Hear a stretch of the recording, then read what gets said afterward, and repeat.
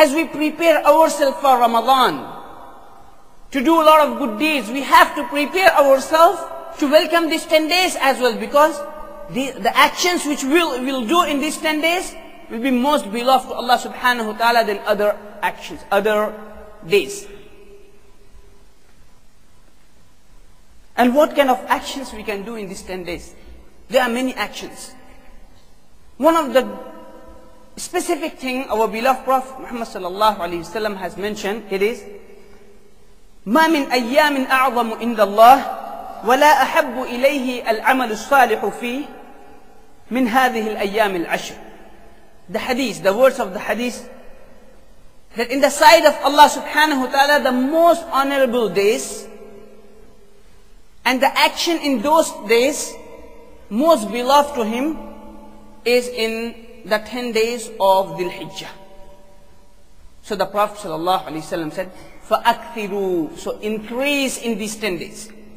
Increase in these 10 days. What you have to increase? The Prophet ﷺ said, مِنَ التَّهْلِيلِ وَالتَّكْبِيرِ وَالتَّمْجِيدِ Saying, La ilaha illallah. Saying, Allahu Akbar.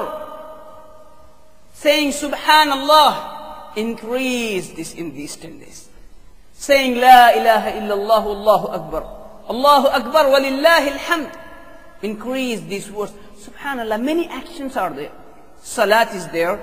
Fasting is there. Which has much more honor and it need much more time and physical body and many more things like you have to do the wudu and things, everything. But the Prophet ﷺ has mentioned very easy thing. And that is the raising the kalima of Allah subhanahu wa ta'ala. Allahu Akbar, Allahu Akbar. La ilaha illallah, Allahu Akbar, Allahu Akbar, walillahi. Raising these words you can do at any time. When you are going to bed, when you wake up, when you are driving, when you are walking, when you are doing anything, you have a leisure time, just do it. You don't have to do the wudu for that. You don't have to prepare yourself for that. You don't have to come to a particular place for that. There is no prohibition time for that. Just raise the takbirat in these 10 days because these are most honorable takbirat in the sight of Allah subhanahu wa ta'ala. And the love of Sahaba to these actions was so great that Abu Bakr, uh, uh, Abu Huraira radiallahu ta'ala an, and Abdullah bin Umar radiallahu ta'ala an. They both used to go outside in the market for their work and they used to say takbirat very loudly. When they say the other people listen to them and they start saying very loudly. So whole market used to say Allahu Akbar, Allahu Akbar, La ilaha illallah, Allahu Akbar, Allahu Akbar, walillahi alhamd. Subhanallah, they never felt shy. You know, when we have to say something, takbirat or something, yes, we should not say in a manner which disturb other people. But we can say in ourselves, but we feel very shy. While the people, when they do the shaitani actions or shaitani slogans, they don't feel shy. They just don't bother others.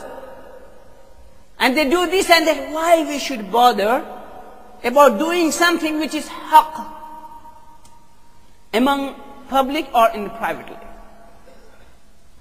And if we have the correct intention, if we do according to the sunnah of the Prophet ﷺ, it might be the starting point of your da'wah. When you will say this word, your colleague might ask you, what is this about? You can start the story of Ibrahim alayhi salatu wasalam with that. Somebody else can ask something else. You can start with him about Isa alayhi salatu wasalam.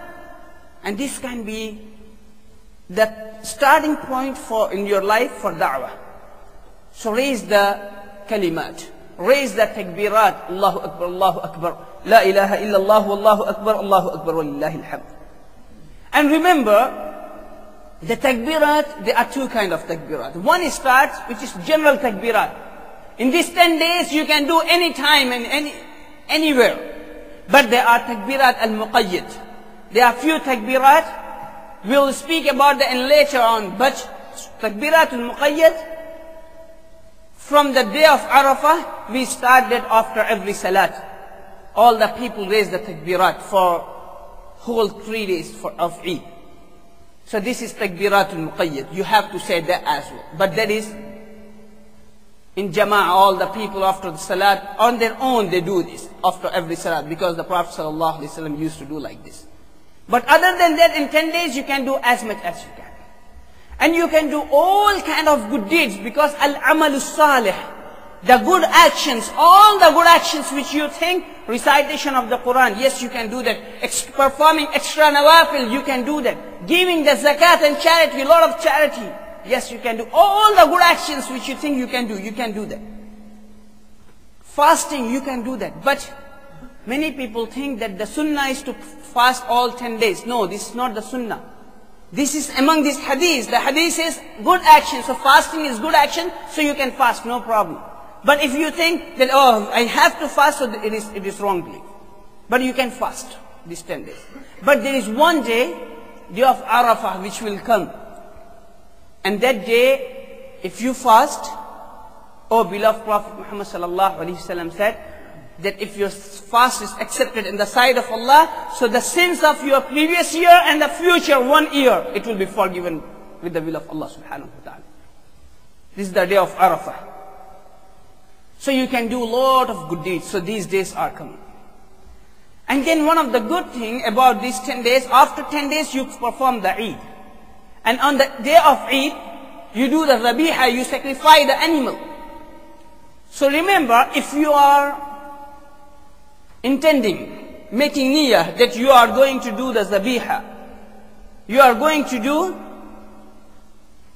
the zabiha remembering Ibrahim alayhi salatu salam sunnah and the sunnah of the Prophet Muhammad sallallahu alayhi wasallam. So these 10 days you are not allowed to do few things the same things as the people of the Hajj, they don't do. For example, trimming your or shaving your hair, cutting your nails, you're not allowed to do this. If you are going to do the zabiha. And as soon as you do the zabiha, you sacrifice your animal, then you can do this.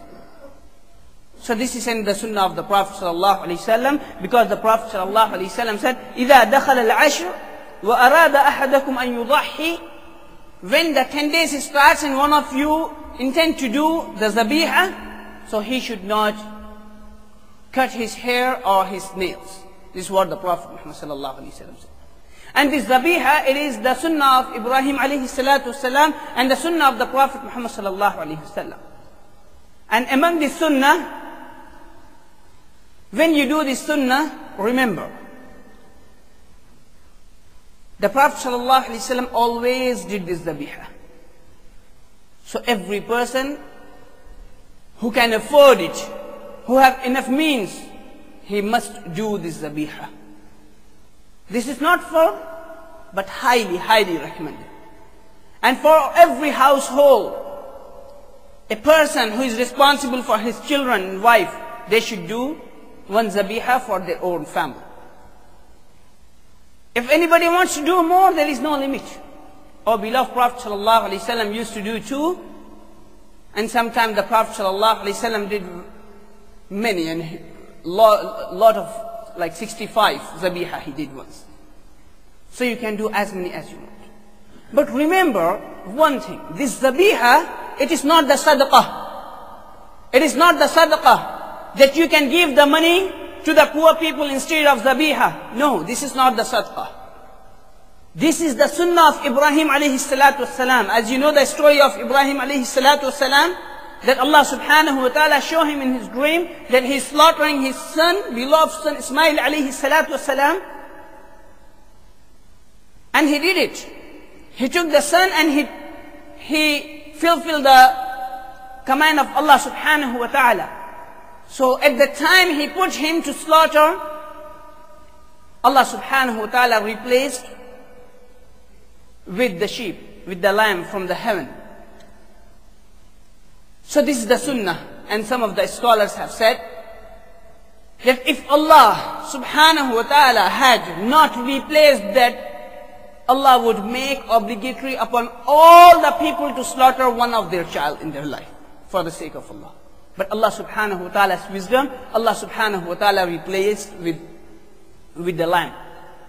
So this is not the sadaqah, this is the shi'ar of Islam. Sadaqah is something different, charity is something different.